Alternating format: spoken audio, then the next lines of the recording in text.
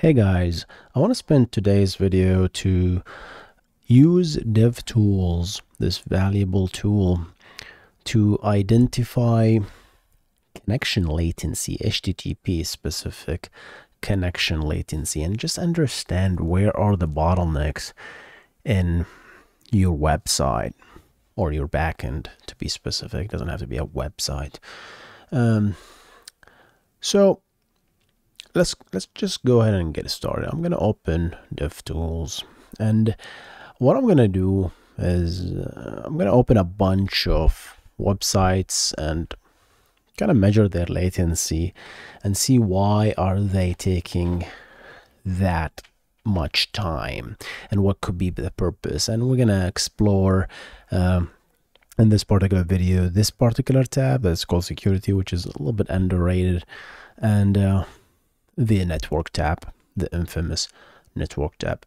I've always start with Nginx. I love Nginx as a website because uh, it's still it's not not it's still not up to date with the latest uh, shiny stuff so they keep uh, the old you know protocols in use and I, I like to use it as an example uh, there are thousands of other websites but let's go ahead and do that so let's go ahead and, and go to nginx.org and hit enter. You can see that there is a lot going on here. So let's start with the first request. The first request really was in nginx.org using HTTP 1.1 as a protocol. But look at this. I think we safe we can safely stop recording because here's what I want to do here. So this is what interests me you can see that there was the DNS lookup, the DNS lookup to lookupnginx.org to find the IP address, which we did. And then there is this initial connection orange line. And part of this initial connection, which is the establishment of the TCP connection between us and nginx.org IP address, is the SSL or as we modernly call it, TLS, right? Uh, transport layer security, negotiating the connection. So uh, this is part of this. So the 411 millisecond is part of the total 500 say almost half a second, actually not almost, more than half a second, just establishing the connection. So what are we doing here? So if you deduct this 150 around 140 millisecond is spent on um, on just establishing the TCP connection. So SYN, SYN-ACK, and ACK. And then the rest is 411 just for the TLS. And and the main reason of this is, as we're gonna see in a minute, is is the the version of TLS being used in nginx.org and that's why I picked Nginx as an example. And the other reason is the latency itself. If we can ping, I can't, but if we can ping Nginx, you're gonna see around around 80 or more latency millisecond. Uh, they disabled ping uh, Nginx, uh, the administrators. But look at this.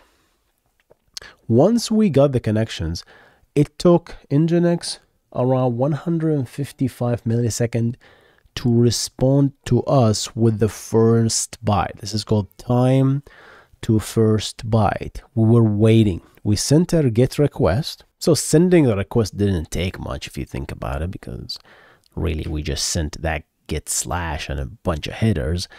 Not much, right? And I bet that we actually waited for an acknowledgement here because if we waited for an acknowledgement, we, this would be much, much higher than that. But the time to get the first byte is 155 millisecond, right? That means Nginx took 155 just preparing that HTML that we saw, right? When we when we clicked uh, nginx.org. So this is critical, right? And this is critical. So we have waited almost a second, right? This is a 744 millisecond to see something. Okay. And you can see that the content download is nothing because the content is so small that we actually downloaded it entirely with the first byte, right? That also tells you that Nginx is not really streaming that HTML page. It just literally sending it as just a whole thing, right? And, and, and you can play with this a little bit. If you want your users to see stuff immediately, instead of buffering all this HTML page and sending it at once, you can stream this content to the user and, and the browser will start displaying whatever season whatever it gets from the server. So that that's what we have here. So let's go back and see why uh, Nginx really took 400 millisecond. The main reason is this really. Um, TLS 1.2. And I talked about TLS many times in this channel. And the TLS is the way that um, a client and server can establish a symmetric key. That's the main goal. The main goal is just to generate a temporary symmetric key. So that means the same key that I have in the client must exist on the server. We're going to generate that same key temporary just for this session. So we can encrypt stuff. And this key is so secure and using usually uh, algorithm, symmetric algorithm like AES or ChaCha or stuff like that. Right. Uh, now, how do you negotiate that key? Because you cannot just send a symmetric key on the wire. Everybody can sniff it, right? You use um, a key exchange algorithm, right? And that is basically uh, uh, Diffie-Hellman or elliptic curve Diffie-Hellman, which is the sexiest version. It's so sexy. And this these are the curve sizes and stuff like that, which is so advanced. If you if you want to take your PhD in this stuff, you can. People still figuring this out. There's so much. There's so much here to learn. But yeah, TLS 1.2 actually uses two round trips to do this negotiation that we talked about. And these round trips, so if your round trip time is like 60 millisecond, right?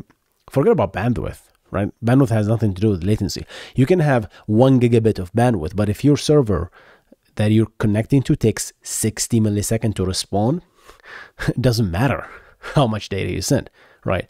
You're sending few bytes and the server's taking 60 milliseconds. So it will be slow regardless. So if you have two round trip, that's double. So in this case, we've gotten what? How much was that? We've got a 411. So if we divide that by two, that's what 200 millisecond. So not all of that is latency. Some of that is um, the latency. Some of that is processing on the server side. Some of that is, believe it or not, uh, purposefully delayed packets uh, because of this algorithm that's called Nagle. And I have no idea if Chrome has it enabled or not. So if it is enabled, then TLS will wait for more bytes to arrive on the buffer before it actually sends it. And that adds up to the milliseconds uh, to, to, to, to the total latency right? A lot of people disabled Nagle algorithm using tcp no delay. And you can read out read on on that. I mean curl disabled that long time ago 2016 i have no idea what chrome does but th- that's another thing right? Another thing and contributes to that is congestion control right? Which is the tcp thing. Conge- uh, tcp when play when when it starts up it does this thing that's called slow start. And as it starts up it tastes the network. It says all right can, can you handle this? Right? The server's like can you handle this? And the server says i don't think you can handle this and the client will say i don't think you are ready for this uh, jelly okay um, the server okay i'll stop that i'll stop i swear so yeah, so TCP does this slow start and, and increases the window, the sending window with the more the faster the connection it detects right? Because it cannot send a lot of data all at once. It sends few things and then it says, oh, you can the connection actually can handle more. So it sends more and sends more until packet starts dropping or delayed acknowledgement, then it will start slowing down. So this this is called the sending window, the slow start, and all that stuff. So connections definitely start slow, and and as as we get, it's gonna get faster and faster. So So that's that's basically it. Let's let's move on to google.com. So all right guys, uh, now that we explored Nginx, I'm gonna go to a completely different example, more modern tech and modern backend and all the shiniest stuff. And let's let's just check out check it out. Going to google.com specifically, not www. I'm going to https google.com. Hitting enter. What do we get? The first connection establishment is is so let's go ahead and stop recording here. The first connection to google.com we did a dns lookup. It took 14 millisecond 15 millisecond right? So my dns provider which is i believe cloudflare took 15 milliseconds to give me the ip address of google.com not www.google.com that's a completely different thing. And look what we used. We used h2 http2 right? So that's definitely on top of TCP, okay? And when we do that, we did DNS, we got an initial connection of total 46 milliseconds. 32 of that is SSL, which is TLS. Okay.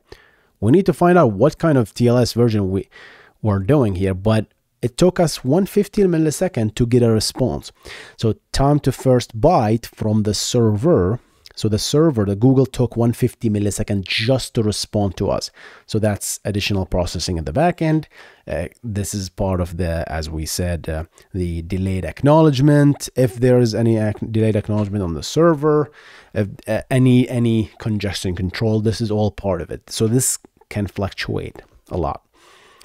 So why did it take 32 milliseconds?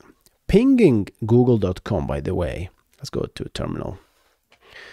If I ping google.com, the time, right, the, the, the latency is so low.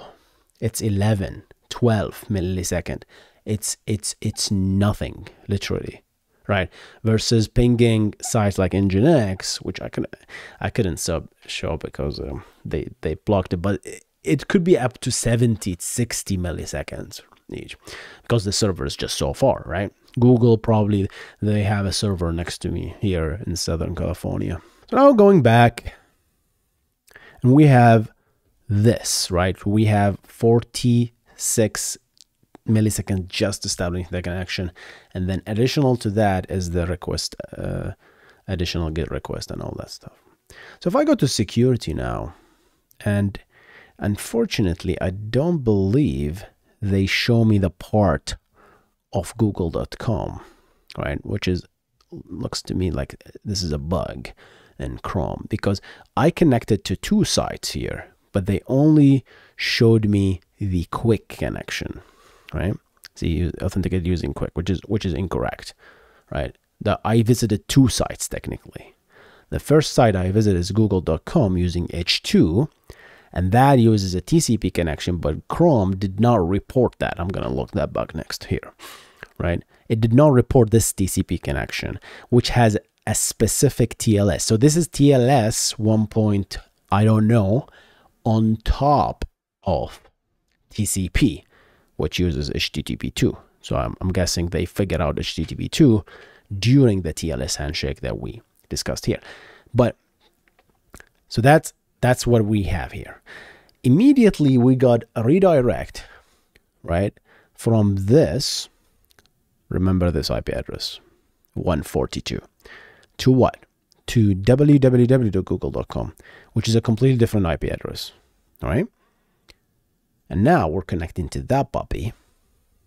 What are we doing here? But here, this is an HTTPS server, but Look how sexy this thing is.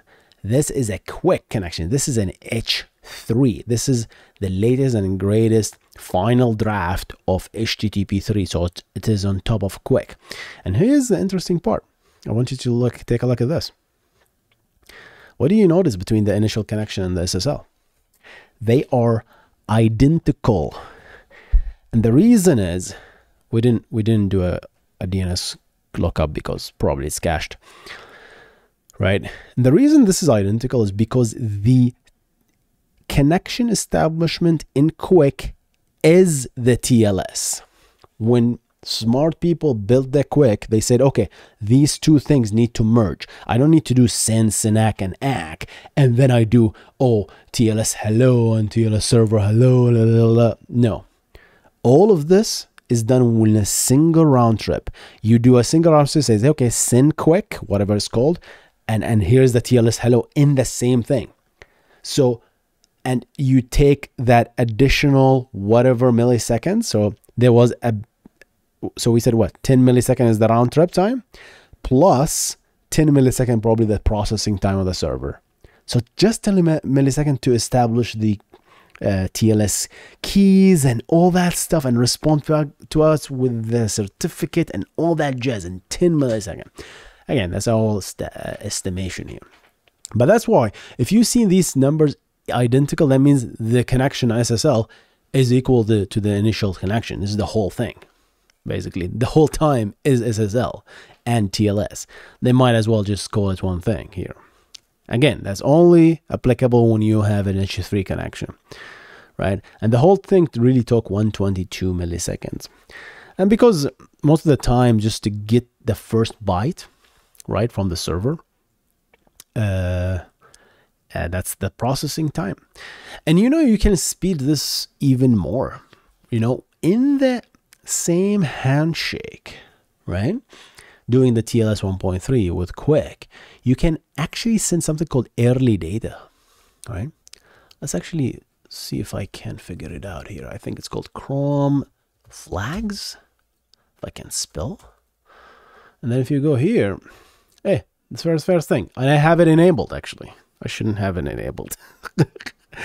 because it's having enabled, it probably it was so fast because I I sent the GET request with the TLS handshake. So we're sending the T, uh, TC, uh, not TCP, the, the connection establishment with the QUIC.